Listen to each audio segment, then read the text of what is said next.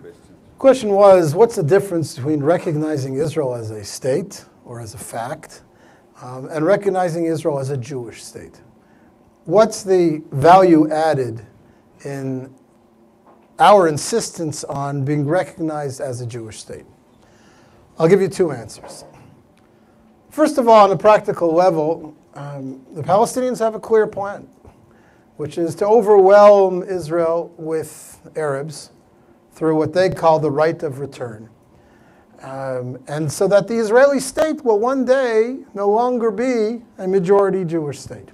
And the minute that Israel is a state, a secular democratic state, um, one day it could be a secular democratic state with an Arab majority. And clearly, if you read Arab thinkers and writers, that's where they're going. Recognition of Israel as a Jewish state says that I recognize that the Jewish people has an intrinsic, historic tie to the land. It means that they're not just here as a fact. Circumstances are that there was a powerful Jewish return to the land of Israel and they have a strong army and we have to live with it.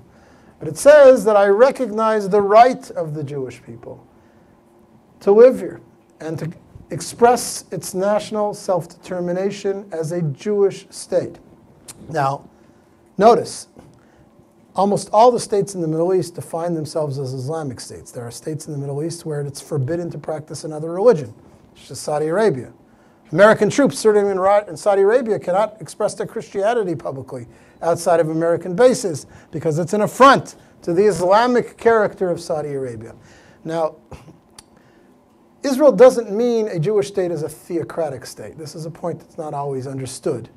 Um, when Benjamin Netanyahu wants Israel to be recognized as a Jewish state, he doesn't mean that it's a state that will be run according to halacha, according to Jewish law, according to Jewish religious law.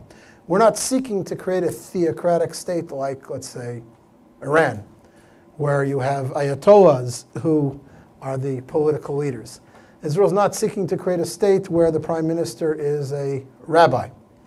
It could be that one day prime minister will have a rabbinical ordination, but we're not seeking to impose a religious stance and a, a religious um, framework on the state that would deny the religious sensibilities or rights of others. But recognizing Israel as a Jewish state means as a state of the Jewish people means that you know that we're not just here and you have to live with it, but we're here because we have rights that go back thousands of years. We're here because this is a land that we have a right to, not just something that we managed to conquer.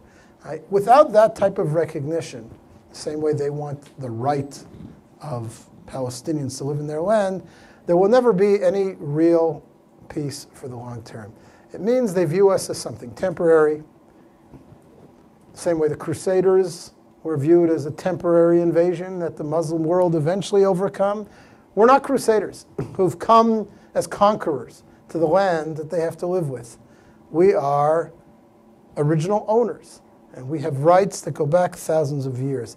It's a mental concept that forces the other side to come ter- comes to terms with us as legitimate, as people that have historic rights, not just political power. It's a very important distinction. I hope that answers your question.